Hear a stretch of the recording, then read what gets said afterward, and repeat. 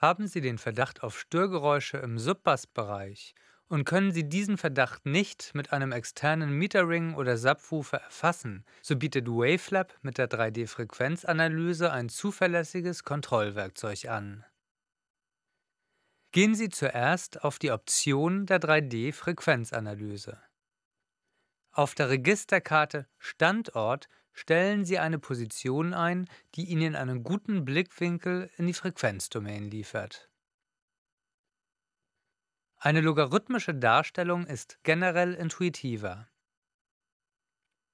Auf der Registerkarte Frequenz grenzen Sie nun den dargestellten Bereich auf die Problemzone ein, um eine möglichst genaue Grafik zu erhalten. Leider zeigt die Grafik Erstfrequenzen ab 20 Hertz an. Das reicht zumeist jedoch trotzdem, um Probleme zu entlarven. Sieht es so aus wie hier, ist ein guter Low-Cut gefragt.